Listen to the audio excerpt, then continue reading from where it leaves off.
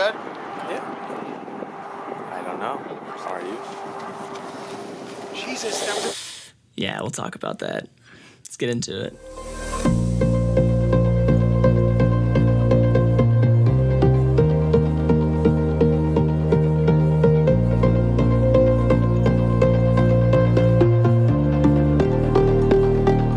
First jump course.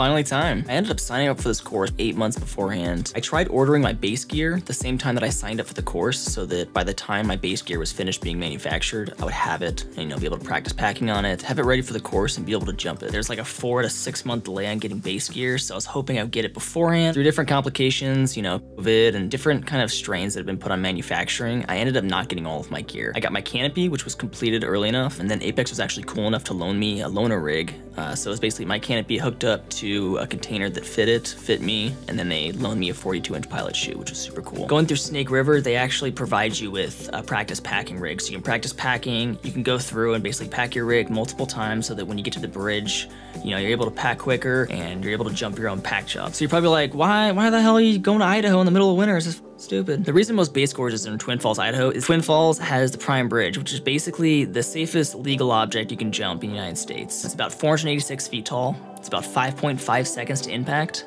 and you know all the base jumpers they're trying to protect it and make sure that it stays legal you know as long as they can. So set this up took a flight from phoenix to salt lake ended up running into two of the dudes that are taking the course with me chris and josh. Chris was a first time base jumper. Josh was actually getting back there to audit the course for a second time. He had done it previously so it was really cool to kind of get his take on it his second time around. We're in the airport end up finding out that our flight's delayed it's overbooked and they start asking for volunteers to hop off the flight and find alternate means to get to their destination. I'm gonna have past Devon kind of talk about this a little bit because you know he was there right after the fact. So we're sitting there chatting up, getting to know each other, and then uh, people at the ticket counter start asking for volunteers to hop off the flight because it was overbooked. One of the dudes ended up getting on the flight already. He was one of the first people to hear because they asked some of the passengers if some of them would, you know, be willing to volunteer and get off the flight. Naturally, you know, they offered vouchers. So one of the dude, the dude that was on the plane texted me. He's like, "Yo, they're giving out $800 for anybody who wants to hop off the plane, and they're looking for three people." So I'm like, me, dude on the plane, other dude sitting there chilling.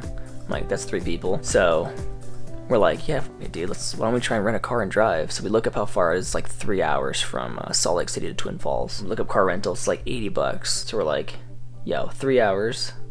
We still get to course check-in before five o'clock. This time it's like noon in Salt Lake. Car rental's like 80 bucks. So we still make out, you know, with like almost, you know, 700 something bucks. And beautiful car ride all the way through. So we're like, okay, yeah, let's do it. Flight was delayed two or three times while we're at the airport because of this. We get in the car, set it up, start driving. We're on the road for like an hour and a half, and we get two or three, you know, notifications from there telling us that the flight was delayed another time, another time, you know. So that's literally like two and a half, three hours after the initial departure time. We get to Twin Falls by like 4.30. I pick up my rig from the hostel that I had to send to. Um, we go over to the base academy, and then we get a notification saying that the flight just landed like 45 minutes after we had gotten into Twin Falls. So we got to the base course, check-in right before, you know, we needed to, do right on time. Did everything we needed to do. Made out like bandits essentially by the vouchers they sent us. We still beat the plane in the Twin Falls. We check in, we pack a few rigs, we get a layout of the entire classroom, which is pretty cool. We had uh, two instructors for this course for the whole time we were there. The owner, Tom Aiello, was the main instructor, and we also had Jacob. Both really just dope dudes. Really learned a lot from both of them. And he basically briefs us on what we can expect over the next few days going through the course. All the time we're gonna spend in the classroom, going over different material, all the jumps we're gonna do in the coming days. So after we go over all the course material, we pack all of our rigs. You know, we pack about five rigs. I think the students pack two or three, and then the instructors pack the rest. Literally carrying five base rigs to jump tomorrow.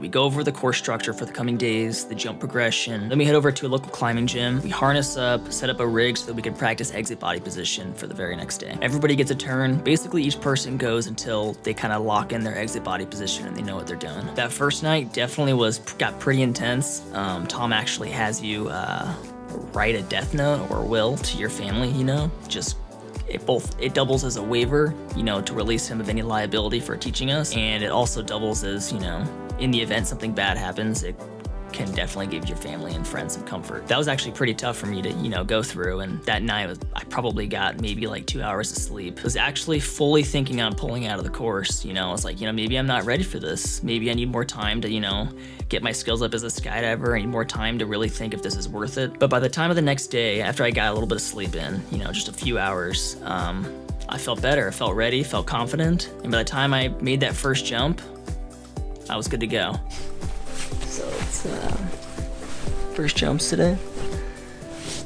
Mixed emotions for sure. A little nervous. Excited. Mostly worried about the cold. It's gonna be fucking cold. But I came prepared, so. So that first day, wake up super early. I think we got to the bridge by like 8 a.m. or so. Sit in our cars, waiting, trying to stay warm. It's like 8 degrees the time we're there. I mean, it's so freaking cold. I wore literally everything that I had, and I was still cold. Had hand warmers, I had feet warmers. I was mostly toasty for a good period of time, but like the moment I stepped out, I'm freezing my ass off. Everybody gets there, we all gear up, get ready. Tom kind of gives us the lowdown on what he's gonna be doing. So the first jump was a PCA, which is a pilot chute assist. So the instructor's holding your bridle, which connects your canopy to your pilot chute. So as you jump off the railing, their hand is essentially pulling the pin out of the closing loop from your rig and pulling your canopy directly out of the packing tray. So it's, you know, the quickest opening immediately when you jump off the railing.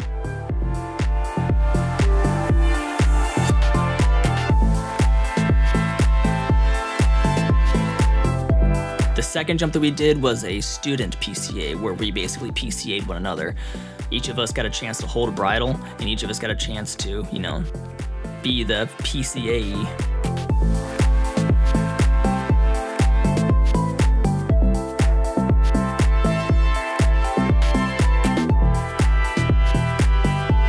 All right, we did that instructor PCA, then we did the student PCA, and then before our third jump, Josh came back up and did his second jump. So he's like, I'm gonna do a tard. He's done it before, he's done both the fundamentals course and the object avoidance course, both through Snake River, so he knew what he was doing in some regard. Um, it's definitely been a while for him, so I don't hold it to him at all. Um, but this is how that turned out. Am I good? Yeah. I don't know. Sorry, you. Jesus, that was a terrible. That was a terrible tard. Tom and Jacob kill me. Just tell it exactly like it is. Uh, Josh was cool about it. You know he, he know he messed up. Um, he's done it before. Even later, Tom said that's exactly not how I taught him to do a tard. but you know that's how you learn. And it could have gotten a lot worse. Basically, Josh said how he felt the fabric of his tail brush against his face. It's definitely what you don't want to happen. Had the fabric gotten caught lower, or he had he gotten stuck in it, basically he would have towed that all the way down to the ground, it could have ended a lot worse. So, in spite of all things, not the worst tard, but definitely not the best. The third jump we did was handheld. On a handheld, you're holding your pilot chute directly in your hand, taking as long of a delay time as you want. For this one, we did basically a go and throw. We hopped off the railing, immediately threw it, waited for deployment. On this third jump, I did it super wonky. I had my pilot chute in my hand, and I was trying to hold onto the railing with one hand. I didn't want to use two because I was a little nervous that my pilot chute would get hooked on the railing, so I tried to just hold on with one hand and balance it. This was kind of messing up my balance. I was putting a ton of weight on my left leg as I was holding on, so when I exited off, it loaded my body incorrectly. And you see that here.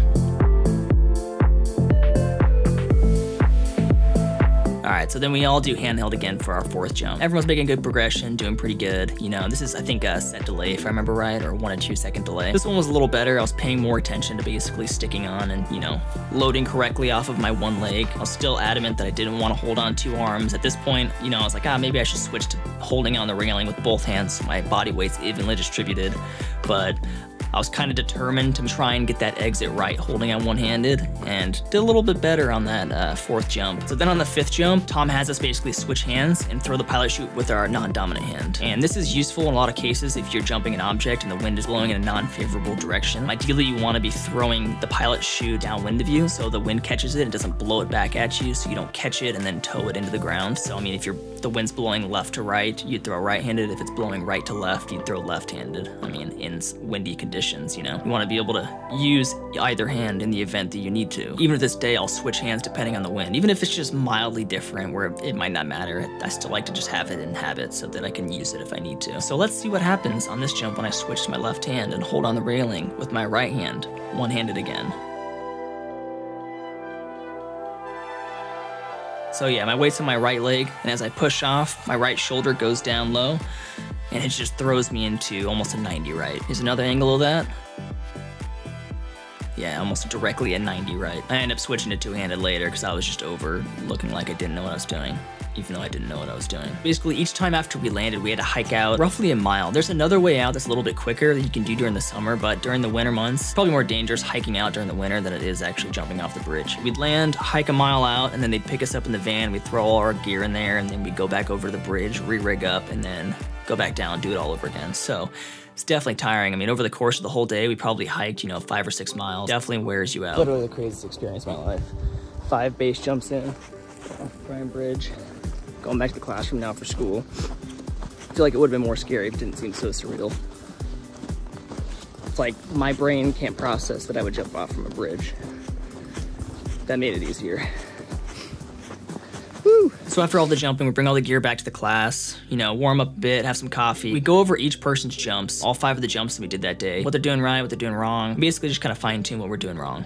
Obviously, I had a lot that we had to go over. Day three. So we started off the day going handheld on our very first jump. This was to kind of warm us up back into things and work on everything we had been doing the day prior. We could take a delay time, I think, as long as we wanted to. This is where I actually got rid of trying to hold onto the rail one-handed and I switched to two, and it tremendously helped my exit body position. After this jump, we hiked out, got picked up, got rigged up for our second jump, and got ready to do our first stowed jump. Stowed is where the pilot chute is completely packed right in the BOC in the bottom of the container. And you're essentially hopping off, tossing your pilot chute to full bridle extension into clean air, and then you're getting it to basically inflate and then pull out your canopy. It's probably important I mention that as we're going through these different jumps, we're slowly progressing into longer and longer delay times. We started with the PCA, where our canopy is basically deployed after we've fallen about 15, 20 feet or so. When we go handheld, depending on the delay time, usually our canopy is at full inflation between, you know, 30 feet um, sometimes upwards of like 50, 60 feet. When we go stowed, it takes a lot longer because we don't have the pilot chute, you know, ready in our hand, ready to go into clean air. It's tucked away in the bottom of the container. So when we throw the pilot chute out, it's got to get to full extension on the bridle, it's got to inflate, and then it's got to have the pull force to basically pull out the pin in your canopy. So before we even did these stow jumps, the day before and even right before the jump, we actually practiced our pilot chute tosses. Being skydivers, all of us, we, you know, tended to have some pretty bad habits in how we throw our pilot chute, myself included. So essentially what a good pilot chute toss looks like is throwing your pilot chute out from the bottom of the container to where it gets to full bridle extension. And the pilot chute doesn't rotate or flip in any direction so that the bridle has a chance to wrap around it and slow its inflation. So you wanna get it to full bridle extension, get into clean air, and then get the pull force enough to pull your pin out and then your canopy out. Let me tell you, when you hop off and you do this for the first time, it you count every second going by. It feels like an eternity for your canopy to fully inflate after you've thrown your pilot chute.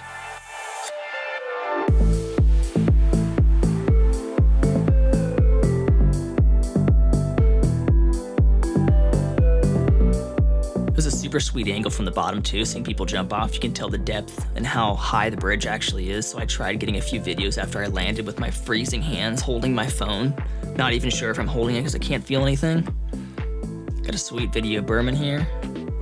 Yeah, dude. On this second jump, we had a self-nominated delay time. We basically told Tom how long of delay we are gonna take, and then we tried to hit that. I think I did like one or two seconds. Or no, I said one or two seconds, and then I ended up taking a two second delay, and I think I got it pretty close on this one.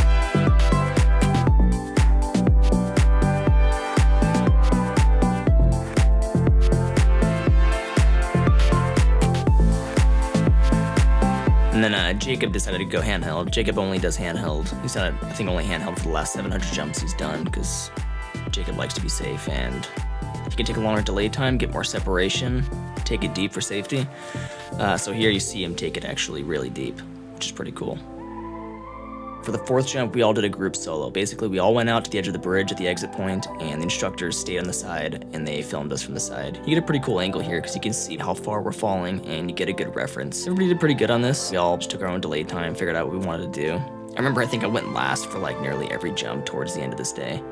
Um, that's really cool. So it's a little weird being on exit point by yourself. Feels like there's more pressure in some regard, but it's also weird going first too. All around, it was pretty cool to kind of get the experience of going in different orders. That way you kind of used to that because that's how it's going to be when you're going to objects in your area. So then we went back to the school after we were done jumping. We went over how to set up static lines, uh, more course material on wind. I think we covered wind like two or three days in a row, which is a really important thing. You know, how wind can affect different objects, when you should jump objects, when you shouldn't, and just kind of best forms of practice if there is going to be wind and you're going to be jumping objects. We went through and constructed tailgates. Tom and Jacob showed us how to finger trap different line and show us how to, you know, form the stuff. They had uh, sewing machines there because Jacob is a certified rigger. So he had a bar tack machine. Basically finger trap the line so that it doesn't come apart and then you tack it so that it stays there for good. So later that night, we went over some course material that was probably the most important that we went over the entirety of the course. First thing being base ethics and kind of how you want to approach base jumping from like a moral standpoint or an ethical standpoint. This is kind of just preparing yourself so that you're not burning objects, so that you don't shed a bad light on the base community and you allow other jumpers to jump the same objects. We get a lot of examples of people that did this incorrectly, and it definitely helps kind of make you be aware of how to approach, you know, base jumping and not to exploit it for your own personal benefit. You want to be able to give back to the sport and not just take from it, which is I think a really good mentality to have going into, you know, a lot of different things. The other thing was kind of the carnage that we went over. Tom definitely helped instill a sense of uh, severity that base jumping has. You know, he showed us a lot of videos and kind of escalating progression of, you know, minor sprained ankles to some dude who actually broke his feet off to people actually dying. And this is something that definitely helps you, you know, think about and understand what you could be in for if you don't do things right and you don't think through every single jump as, you know, being potentially fatal at any point in time. Day four. On the fourth day, we started off with a night jump. We got to the bridge before the sun rose. It was freezing this day as well. I mean, every day it was freezing, but today is definitely extra cold and felt extra cold because there was no sun out. I actually elected to pick up this fluorescent pink rig so that it was easier to see me if I landed in the river and I was floating away, hypothermic. At least there was a traffic cone floating by, you know. We all got geared up. Um, we all had radios so that we could, you know, let them know if we had to land off. I think Chris elected to go first, which, you know, props to you, Chris, because everybody was a little bit shook on going first. First person they got down basically had the obligation of letting instructors know that everybody else landed okay. Everybody could do whatever they wanted. They could go stowed, they could do PCA, they could go handheld. I went handheld here just so I could have more time to kind of see the landing in the event that I had an off-heading opening. By the time we were hiking out, the sun started rising and we could see a little bit better, but it was really cool. I mean, one of the reasons they have you do night jumps is most jumps that are not legal that you're gonna be doing are gonna be at night because during the nighttime, people aren't gonna see you as easily, people aren't awake, and you'll just get less confrontation from people if you're doing different objects at night. For the second jump of the day, we all did a group solo. So this is where every person went out to the edge of the bridge, uh, to the exit point by themselves without anybody else there. I mean, this is a good thing to have because you're probably gonna be jumping a lot of objects by yourself in a lot of regards. We could do whatever we wanted on these. Stowed, you could go handheld. Um, on this one, I decided to go handheld. I just wanted to get in the habit of going handheld because most of the objects in uh, the area here in Arizona are pretty much go and throws or they're handheld. Uh, everybody did great on this jump. We all landed, hiked back out, and then the wind started picking up quite a bit, so we weren't sure if we're gonna be able to do uh, the static line, which was gonna be the next jump. And you're technically not supposed to rig up static lines to the railing of the bridge itself. So they have a grandma walker in, in the academy that they bring out, and you rig it up to that, and then basically that'll pull your canopy out when you jump off. It started getting way colder this day. I think this was the coldest day that we had. Here's past Devon talking about that exactly. Just hopped off the bridge, my fucking eyelashes are frozen. Oh yeah, Mr. Jester. Jester's pretty much famous in the base community. He's lived in Idaho for a long time. There's a video of him in the past, I think it's at Bixby Bridge in California, where there's a basically a sheriff telling him not to base jump off this cliff. And he's already set up, he has his canopy rolled over in front of him, and he's heading up to do a rollover, where you have your canopy out already, and you just front flip over it, and it's immediately deployed. Um, I think he ended up getting, you know, in trouble for that later, but he's been come to known as the bum that lives under the bridge and base jumps. He talks a thousand miles a minute, but he's actually got a lot of knowledge in base jumping. I mean, the dude has thousands of base jumps. By myself. It, fuck. Good shit, man. There's probably at least top five of people in Twin Falls as far as base jump numbers go. Um, he rode along with us for the day, uh, kind of hung out, chilled, added, you know, maybe unnecessary commentary here and there, but that's what made the experience memorable. So for the third jump, instead of doing the static line, we ended up doing the floater, which you're on the opposite side of the bridge and you're facing the bridge itself. And then you just hop off backwards and you want to hop off with head high but you don't want to you know drop your head down. I went through and did this and i just stayed straight up in a sit which is not the best thing to do.